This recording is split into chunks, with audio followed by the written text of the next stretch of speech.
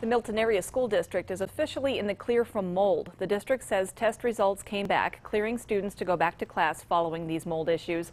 Teachers will return to work on Tuesday and classes will resume on Thursday. Officials say high humidity along with a 40-year-old air conditioning system was the cause of the problem. There are still some spots in two elementary schools and the high school that need to have mold removed, and those areas will be blocked off until they are clear.